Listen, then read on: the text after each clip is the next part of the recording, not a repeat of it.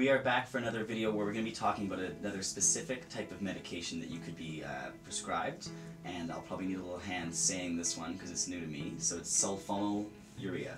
Correct, sulfonylurea. Sulfonylurea. You say it so easily. It's like you've said it your whole life. well, it's part of my day to day. Yeah. Okay, sulfonylurea uh, is another medication class. There's, there's several different types of these medications. Yes, exactly. So uh, we, we've talked about you know, our usual first-line medication, metformin, but many individuals do require additional help to help manage their diabetes. Uh, so we have a number of options on our shopping list after metformin, of which one of the groups is the sulfonylurea group. Mm -hmm. So there's two agents that are typically recognized in this group. One is that it's called glyburide, and a second one that is called gliclazide. These are both pill options, uh, oftentimes taken uh, once or twice per day, uh, depending on which agent you choose, because uh, there is a slow release once a day option for the gliclazide. Glycoside. Exactly. So these have nicknames that we can use. These are these are essentially the nicknames okay. that we're dealing with. All right. So, what would be the strategy of these drugs? Would they be used in chorus with uh, the metformin? Yeah, exactly. So, uh, of course, we always want to reinforce lifestyle modification and, and maintenance for our patients.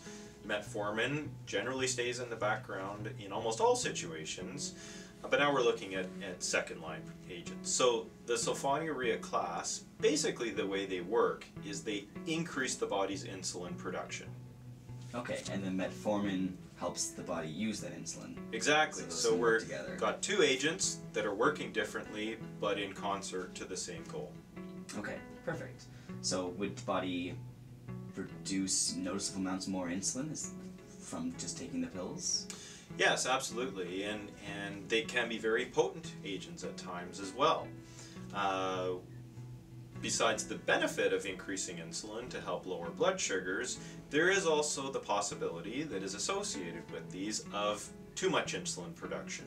So there, there was no threat of hypoglycemia with the metformin because it wasn't affecting your insulin levels, but in the other case, uh, with sulfonylurea, you actually could be producing too much. Correct, and that is the fine balance that we try to strike with managing diabetes, is not only improving blood sugars, but trying to minimize the risk of side effects such as hypoglycemia. Okay, so finding the balance in terms of dosage per day or prescription, it, it, that sort of thing. Exactly. So, so the of course the dosage is important. Uh, the timing of when people take their medications is also important. Uh, you, you typically want to be timing these and taking them with meals. Uh, Patients can get themselves into some difficulty with hypoglycemia in the setting of taking the medication or skipping meals um, because they work no matter whether you eat or not. This is uh, sort of the double-edged sword.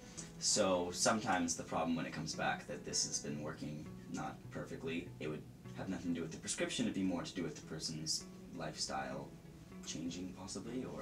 It could at times mm and certainly we can see some people that you know they've made a number of changes to their activity levels or their diet and we can sometimes find that the agent is now a little too potent at the dose prescribed so we need to consider making adjustments.